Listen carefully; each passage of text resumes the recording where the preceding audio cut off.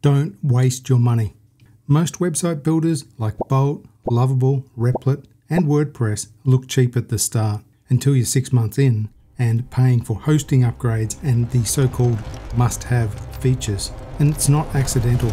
This is a vortex. Once you build your site there, you are locked in. And from that point on, you just keep paying. In this video, I'm going to show you why free hosting, a free domain, and no subscription is the only model that actually makes sense for building websites in 2026. Here's why. Using this app, I've already built and published 615 websites in the last six months. Every single one of these is hosted 100% free. Now, compare that to a traditional platform. If those same 615 sites were hosted on WordPress for just 12 months, it would cost $73,680. This number isn't made up, it's just how these platforms are designed to work. It is their business model. But there is a new way to build websites now. So let me build a website from scratch and show you just how powerful and easy this new approach really is. This custom website will be built in less than five minutes and it will include multi pages, robots.txt, llms.txt, and in 2026, this is super important and I'll explain why a bit later. It also includes schema markup. There'll be no React. This is just pure HTML for fast indexing by Googlebot. A free domain, free hosting, and no subscription. Let's get started. Okay, so to do all of this, we're going to be using gitpage.site. It recently launched on Uneed and it's got a bunch of five star reviews. So if you want to check out what people are saying about Gitpage, you don't have to take my word for it. Come on to here, have a look at these reviews. Rather than sort of explain how Gitpage is going to work and what it does, I'm just going to build the site and you can just see for yourself. So to get started, we just hit get started. Once we're in, we just go to new site and we get this page here. Now I'm going to use this AI fast mode with a local business site build and you're going to see how quick this actually processes. So we'll go to fast mode, local business, select your language, we'll go English. We're going to go for Starbucks Coffee Chadstone. This is going to be, say, a store that says, Can you build me a local website? So we're going to build this website for them. Hero statement, we'll just go with the same Starbucks Coffee Chadstone. It automatically will start generating the features. It'll automatically generate the benefits automatically adds an FAQ. Now we just enter in a contact email.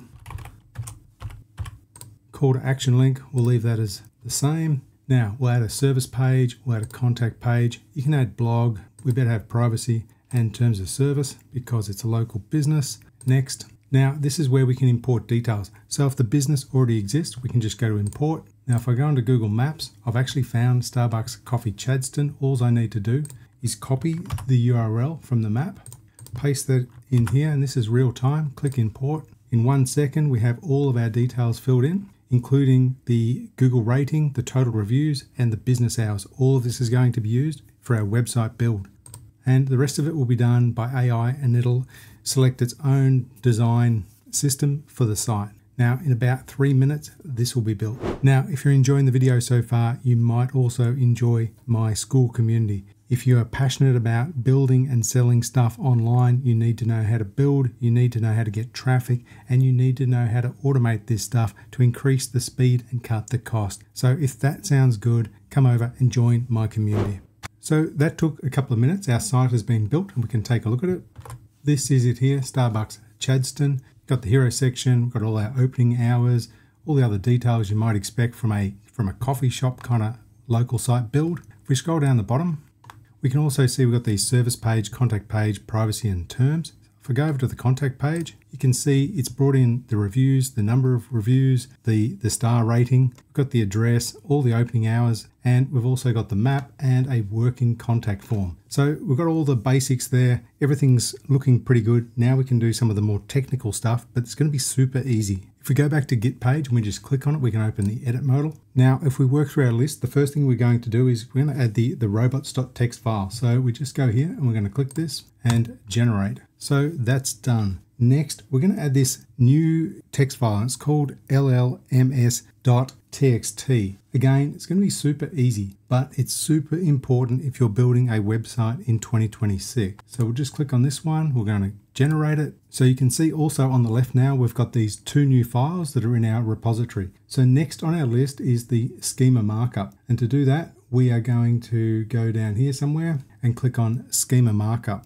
All right, so that's all done looking good. Now next on our list, or may not have been on our list, we're going to build a sitemap as well. All right, so not only will Google be able to find us really easy and crawl the site, the website information will also be able to be consumed easily by large language models. And if we go over and take a look at the llms.txt.org page, it explains why this is important. So basically, it's a proposal to standardize the use of this file to help LLMs use website information and it explains why it's important and the reasons for adopting this. Now, GitPage has it built in and it's one of the first platforms to actually incorporate it.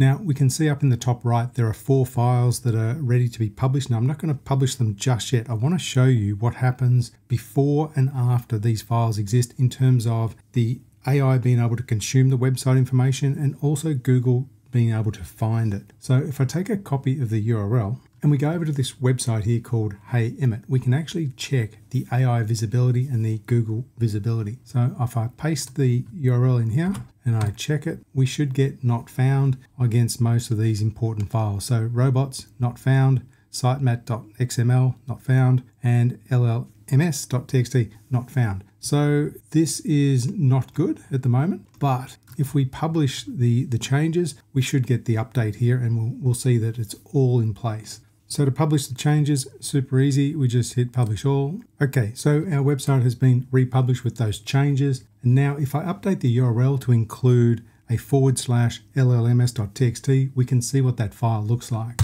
And that's it here. So we can see it's there, those changes have come through and they're live. And if I go back to the AI visibility checker and we rerun this, we can see we're getting green ticks across everything. AI crawlers can access the site, sitemap.xml is detected, and we also have llms.txt detected and LLMs like Claude can access the structured information about the site. So super easy, couple of minutes to build the site and get it AI and Google ready. Now, a couple of other bonus features that our users have requested that I want to show you as well. If you want to edit the metadata, it couldn't be easier. Just click on edit meta and this is what by default has come in. And you can see here by default, the meta title is a little bit longer than probably what it should be, and the meta description is a bit longer as well. So rather than you know, work our way through it, we're just going to get AI to fix that.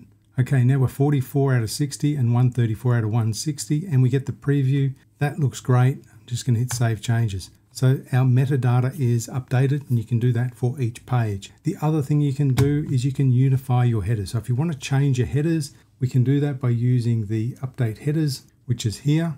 You can do the same with the footer and you can build new service pages. So the entire app is made to rapidly build a site that is Google ready, AI ready, and does not cost a cent to host.